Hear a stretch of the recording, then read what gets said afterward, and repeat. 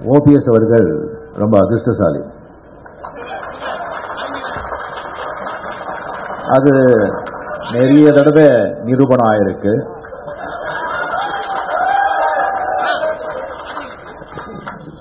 காலகாலத்தில் வந்து தலை நிமிர்ந்து நிக்க போற இந்த மணிமண்டபத்தை கட்டுற பாக்கியம் அவருக்கு கிடைச்சிருக்கு. அது அவர் இன்னும் அதிர்ஷ்டசாலி. சிவாஜி சார் வந்து நடிப்பல சக்கரவர்த்தி. இப்படிதான் நடிக்கணும் இப்படிதான் வந்து வசனம் பேசணும் இப்படிதான் நடக்கணும் அப்படின்ற காலகட்டத்தில் நடிப்பில் வசன உச்சரிப்பில் நடையில் பாவனையில் எல்லாத்திலும் ஒரு புரட்சியை உண்டாக்கி தமிழ் மக்கள் மட்டுமே ரசிக்க வைக்கல. இந்தியாவில் உள்ள ஒவ்வொரு மாநிலத்த ஒவ்வொரு ஹீரோவும் இந்த மாதிரி ஒரு நடிகனை இனிமேல் வந்து பார்க்க முடியாது. அவரால் நம்ம நடிக்கவும் முடியாது.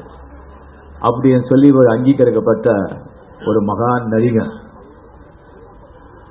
அதுக்காக அவருக்கு இந்த மணிமண்டபம் எழுப்பினோமா எழுப்பினாங்களா? இல்லை செலவெத்தாங்களா ஒரு நடிகராக மட்டும் இருந்திருந்தா டெஃபினெட்லி அவருக்கு மணிமண்டபம் கட்டிருக்க மாட்டாங்க. எவ்வளோ பெரிய நடிகராக இருந்தாலும் சரி. ஏன் அவருக்கு மணிமண்டபம் ஏன் அவருக்கு சிலை அப்படின்னு சொன்னால் அவருடைய நடிப்பு துறையிலிருந்து அவருடைய நடிப்பாற்றலிருந்து அவர் மதித்த அவர் விதித்த அவர் படித்த வரலாற்று படைத்த நம்ம சுதந்திர வீரர்கள் சுதந்திர பாடுபட்ட நாயகர்கள் சரித்த நாயகர்கள் அவருடைய வரலாறு அவருடைய ஜீவனத்தை வந்து படமாக்கி அவருடைய கதையை வந்து தமிழ்நாட்டில் வந்து கிடைக்கூடிய மக்கள் வரைக்கும் அந்த வாழ்க்கையை சொன்னார். சில புராணங்கள் சிவபுராணம் கந்த புராணம் அந்த மாதிரி படங்கள் எல்லாம் வந்து மக்கள்கிட்ட போய் சேர்த்தாரு. அதனால்தான் அவருக்கு இந்த மணிமண்டபம். கடல் கடவுள் மறுப்பு கொள்கை வந்து உச்சத்தில் இருந்தபோது நெத்தியில் விபூத்தி போட்டு தன்னுடைய நடிப்பு ஆற்றலை மட்டும் நம்பி உச்சத்தை தொட்டவர் சிவாஜி சார். அவருக்கு இந்த மணிமண்டபம். நாம் வந்து செத்த பிறகு மண்ணில் மண்ணாக போவங்கிட்ட பழகுறோம். செத்த பிறகு சாம்பலில் சாம்பலாக கிட்ட ப- பழகுறோம். செத்த பிறகு சிலையாக போகிறவங்கிட்ட பழகிறது பழகுறது ரொம்ப அபூர்வம். பல கோடியில் ஒருத்தர் தான் செத்த பிறகு சிலையாக போவாங்க. அவங்கவுங்க வீட்டில் சிலை வச்சுக்கலாம். அது இல்லை. மக்களால் அங்கீகரிக்கப்பட்ட அரசாங்கத்தால் வந்து வைக்கப்பட்ட சிலை. அத்தனை பேரை ஒரு மகானோட நம்ம பழகிருக்கோங்கிறது நமக்கெல்லாம் மிகப்பெரிய பெருமை. இது வந்து அரசியல் சினிமாத்துறை ரெண்டும் ரெண்டு சேர்ந்த கலந்த ஒரு விழா. சிவாஜி சார் நடிப்பில் மட்டும் இல்லை அரசியலையும் வந்து அவர் வர்ற சந்ததியருக்கு வர்ற அவருடைய ஜூனியர்ஸ் எல்லாம் வந்து ஒரு பாடத்தை சொல்லி கொடுத்துட்டு போயிருக்காரு. அவர் வந்து அரசியலில் வந்து தனி கட்சி ஆரம்பிச்சு அரசியலில் நின்று அவருடைய தொகுதியிலேயே அவர் தோத்து போயிட்டாரு.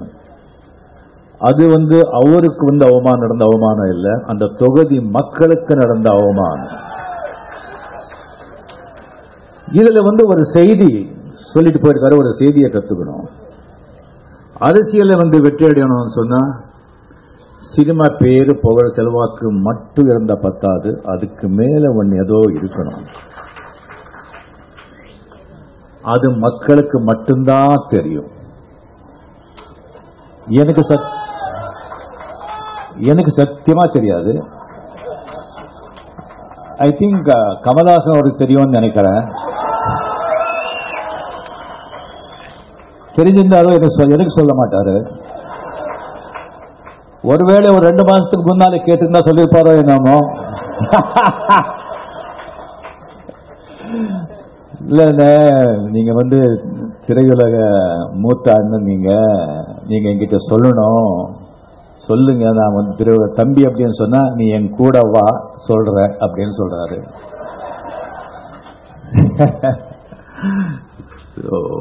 இது வந்து ஒரு அருமையான விழா. இதுக்கு வந்து அந்த மணிமண்டபத்தை வந்து கட்டி கொடுத்த புரட்சித்தறி அமர புரட்சி அவர்களுக்கு திருவிழக சார்பில் மனமார்ந்த நன்றியை தெரிவித்துக் கொண்டு அந்த சிலுவையை உருவாக்கின காரணமான டாக்டர் கலைஞர் அவர்களுக்கும் என்னுடைய மனமார்ந்த என்னுடைய ஐ மீன் நன்றியும் நன்றியை தெரிவித்துக் கொண்டு இவ்வளோ வந்து இவ்வளோ இதோ மத்தியிலே வந்துட்டு அமைச்சு பெருமக்கள் எல்லாம் வந்து இது வந்து ஒரு நல்ல விழாவாக வந்து செஞ்சதுக்கு எனக்கு வந்து அவங்க எல்லாம் நான் வந்து ரொம்ப நன்றி சொல்கிறேன் அண்ட் இந்த மணிமண்டபம் உருவாவதுக்கும் சரி இந்த சிலை உருவாவதுக்கும் சரி சிவாஜி குடும்பத்தினரில் எஸ்பெஷலி ராம்குமார் அண்ட் பிரபு அவங்க வந்து விடாமுயற்சி தான் இதுக்கு ஒரு காரணம். அவருக்கு நான் மனமார்ந்த பாராட்டுகளை தெரிவித்துக் கொள்கிறேன். நன்றி வணக்கம்.